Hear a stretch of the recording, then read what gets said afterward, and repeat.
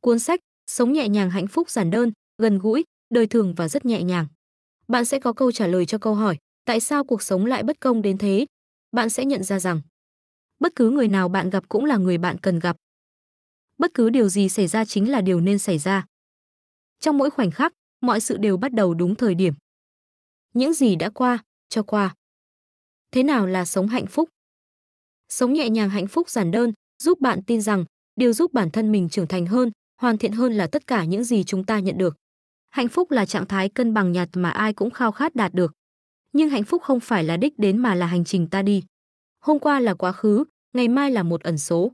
Chỉ có hôm nay là một bức họa mà ta được thỏa thích đặt bút vẽ nên những gì mình muốn. Vì thế hãy sống cho ngày hôm nay. Mở mắt ra là ngày hôm nay, hãy biến cuộc sống trở thành một chuỗi ngày ý nghĩa. Để sống hạnh phúc, trước hết bạn cần hiểu hạnh phúc là gì. Hạnh phúc là biết đủ, thời gian không đủ để cho bạn lãng phí. Hôm qua, hôm nay và ngày mai chẳng ai có thể chắc chắn mình sẽ mãi hạnh phúc. Trong chương đầu tiên, cuốn sách sẽ giúp bạn tìm hiểu công thức của hạnh phúc, quan điểm sống của người Ấn Độ và tìm ra đâu là điều ý nghĩa, quan trọng nhất. Để từ đó bạn luôn bình tĩnh, điềm tĩnh trước mọi khó khăn của cuộc sống. Từ đó, tạo nên cuộc cách mạng cho cuộc đời chính mình. Bên cạnh đó, cuốn sách cũng cung cấp kiến thức về lối sống tối giản, lối sống đang rất thịnh hành hiện nay. Làm sao để kìm hãm sự ham muốn để tránh sống dư thừa, tối ưu hóa hiệu quả cuộc sống. Bạn sẽ học được cách quản lý tài chính cá nhân, những mẹo khiến cuộc sống dễ thở hơn bằng cách tận dụng công nghệ.